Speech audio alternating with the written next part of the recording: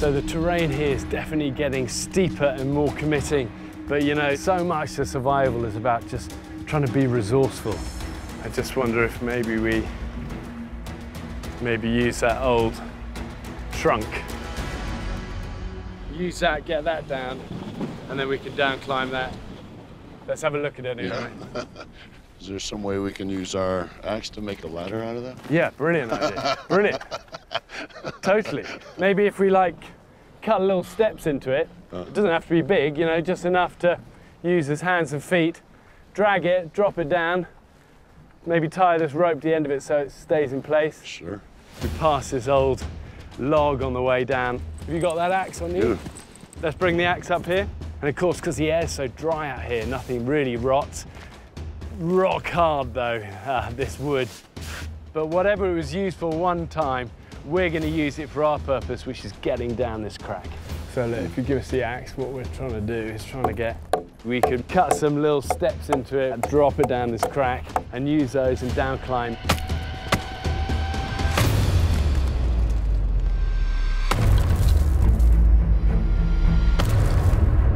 Let's get you doing a bit of that. I'm gonna get this rope ready and then we're into it. Bear's plan is to somehow climb down this log ladder that we've built from our two hands and an axe. Okay, so that's a bunch of steps cut, and now what we've got to do is position this. So if you take the heavy end, All right. I'll take this end. You ready? We're heading that way? We're going down to the right, yeah. Yeah. Oh my god, I know. you crack me up. Here we go, right? It's literally like he's moving a matchstick. so heavy. Well, the great thing about having Dave Bautista on this journey is that when you're moving heavy tree trunks around, it suddenly all becomes a little bit easier.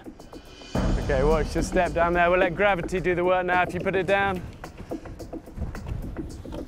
And then we'll come up this end. I feel okay climbing down this log uh, right now. But as Mike Tyson said, everybody always has a plan until they get punched in the face. So I'll see how it starts looking when we're actually doing this. But as of right now, I'm extremely confident.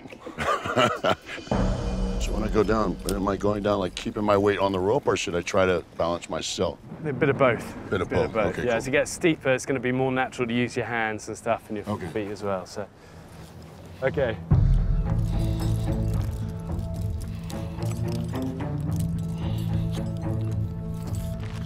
Okay, tell me when you're at the top. Uh, not yet. Almost. Okay, I got my foot Okay, on. now try and use the log because I'm gonna, I'm struggling to hold you on that one. So. Okay. All right.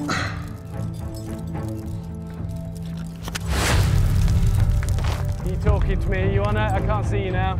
Yep, I'm on the log. And these notches are uh, much farther apart than I thought.